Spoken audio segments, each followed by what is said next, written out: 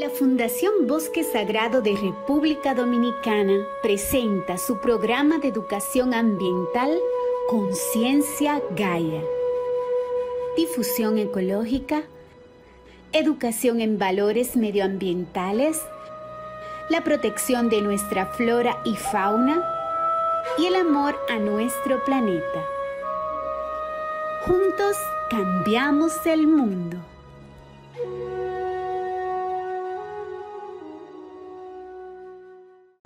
Hoy les traemos el tema Las algas no son plantas.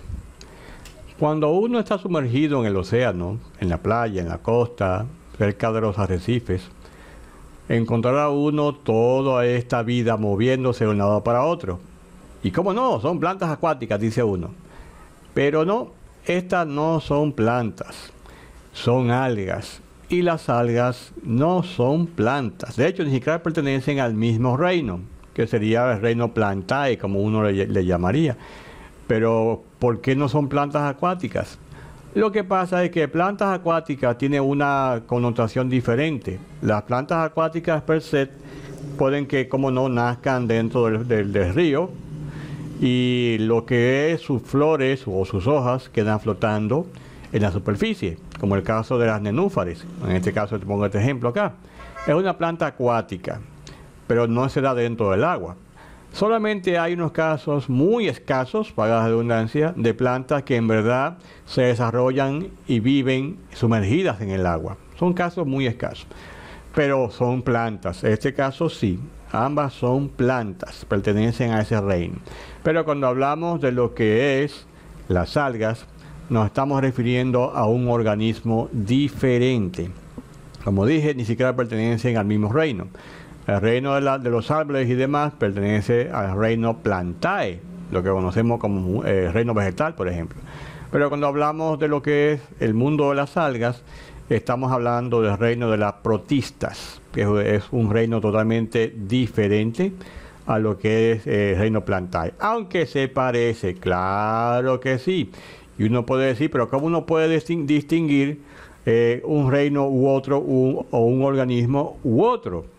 Pues lógicamente hay varias diferencias que demarcan que una cosa es una cosa y otra cosa es otra cosa. Una cosa es reino plantae y el otro reino es el protista. ¿Cómo podemos diferenciarlo? Hay una diferencia que es básica, que es que por ejemplo en el reino plantae, en el caso de los árboles y demás, se generan lo que son flores y semillas y frutos. En el caso del reino de la protista, el caso de las algas, no hay ni frutos, ni semillas, ni flores. Eso nada más es a simple vista. Pero si queremos irnos más profundo, yo creo que la mejor diferencia que existe entre ambos reinos, la mejor, aunque no sea a simple vista que se vea, es el tema de sus células. Ustedes saben perfectamente bien que en este reino, el caso de un árbol, es un organismo pluricelular sea, está compuesto por muchos tipos diferentes de células. Por ejemplo, hay un grupo de células que forman lo que es el fruto, diferente a otro grupo de células que forman lo que es la flor, que no son para nada parecidos, ni iguales ni de ninguna forma. Y otro grupo que se encarga, por ejemplo, las hojas, diferente al, grupo que se encarga de hacer el, el tallo. O sea, es un organismo pluricelular o sea, todos los tienen tejidos u órganos, también se le puede decir como no, y todos están conformados por células diferentes o distintas. Esos son los árboles, plantas y demás del reino vegetal. Pero cuando hablamos de este reino de acá, de lo que es la célula, hay un tipo de, o una clase, o especies de algas que son multicelulares. Estamos hablando de que tienen el mismo tipo de célula multiplicada por muchas veces. No lo mismo decir pluricelular, o sea, que tiene tipos diferentes de células, a decir que es multicelular, que es la misma célula o el mismo tipo de célula conformando todo el organismo. Eso que usted ve que parece una hoja es exactamente igual a eso que se parece un tallo. Es lo mismo. Lo que pasa es que la, la forma que tiene difiere un poquito como forma. Pero hablando a nivel celular, es exactamente la misma, el mismo tipo de célula. Pero eso se dice que las algas no, es propio decir que son multicelulares. en este caso, sino, perdón, dije mal, no es, eh, conveniente decir que son pluricelulares, sino que son multicelulares. A todo esto es bueno destacar que también hay algas que son unicelulares, que es el caso, por ejemplo, lo que es el fitoplancton, principio básico de la cadena alimenticia en el reino, en, el, océano. Esta, esta vida eh, microscópica son algas y están, como ya dije, asentando la vida en todo el océano. Pero son algas unicelulares, a diferencia de las algas que son multicelulares, como en este caso la alga llamada kelp, que tiene una altura de entre 30, 40 y hasta 50 metros. O sea, así como vemos un, organismo microscópico, con el caso de la, de las algas que son unicelulares, nos topamos con este organismo que alcanza hasta 50 metros, un organismo que es multicelular, pero no deja de ser un alga.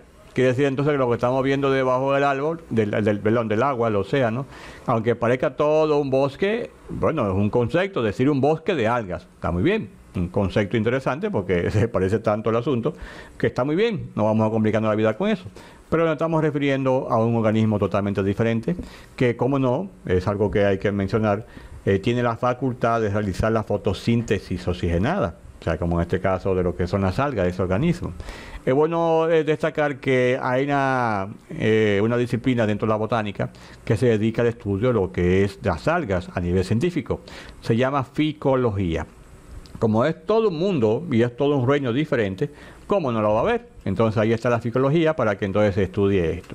Y obviamente dentro de esa, de esa disciplina ya está, hay toda una clasificación de las cientos o de las miles de, especies de algas que existen, porque hay que clasificar todo esto, porque la cosa es interesante.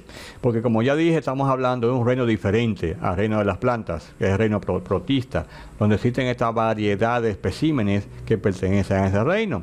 Por ejemplo, acabo de destacar aquí lo que son los dinoflagelados que a veces eh, se han visto en muchos países que tienen este tipo de algas en las costas que cuando es de noche, la noche es, oscura, el agua se ve de esta forma, brillante en azul, pero es por un tipo de alga que se llaman dinoflagelados que tiene esa condición de que puede crear esa luminoscencia y se ve ese espectáculo tan bonito en lo que es el agua de mar en las playas. Pero también los dinoflagelados tienen una, una condición. Algunas especies de dinoflagelados crean lo que se llama la marea roja. ¿Ustedes han visto eso? ¿Han escuchado eso? O quizá en su país existen en sus costas, que la marea se ve totalmente rojiza o el agua del mar se ve rojiza. Eso es por la presencia de este tipo de algas dinoflageladas.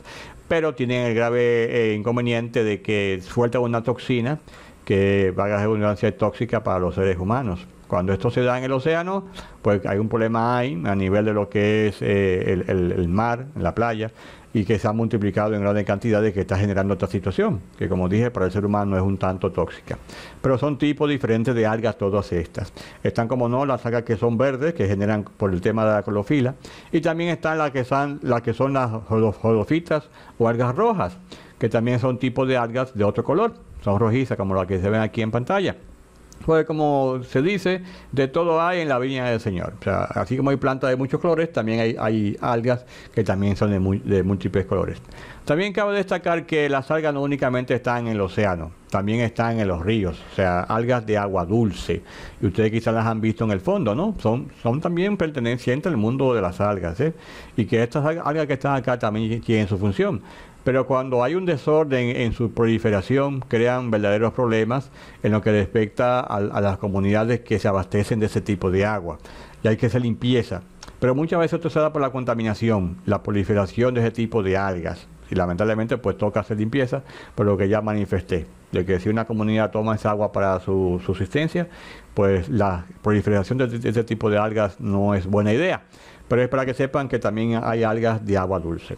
Y pues si alguien hace la pregunta si las algas son comestibles, pues la respuesta es sí. Hay muchísimas especies de algas que ya están dentro de la cocina, eh, la cocina gourmet, como platillos principales. De hecho, las algas se, comercializan y se crean estas texturas que son algas eh, disecadas, vamos a decir. Se parecen papelitos, ¿no? De hecho, son los papelitos que se, utilizan para envolver lo que son los sushi. Pero es para que vean que eso también se, se comercializa en todos los aspectos, las que son comestibles. Pero uno podría preguntar, y, pero es comestible, pero ¿tiene algún beneficio? Pero claro que sí, es un alimento más. Eh, por ejemplo, la algas tiene la ventaja de que regulan los niveles de colesterol, entre sus beneficios, eh, fortalece el sistema inmunológico, eh, cuando uno la consume y todo eso, regula los procesos digestivos y lo que es el, funcionamiento de los intestinos, tiene un alto contenido de vitamina A y B, y es un alimento que ayuda mucho a prevenir la enfermedad de la vista, a Dios las gracias. Eh, si es un consumo regular, regular que tenemos con ella, pues nos ayuda bastante a prevenir lo que es la aparición de enfermedades cardiovasculares, el consumo de algas. Para que ustedes vean que una buena sopa de algas es bienvenida. También mejora y regula lo que es el apetito. O sea, o sea, cuando uno se pone a ver todos los beneficios de las algas, creo que una buena sopa de algas quedaría bastante bien. Y para la gente que sufre de presión arterial, pues esto también se encarga de regularlo, entre otras cantidades de beneficios que tienen las algas.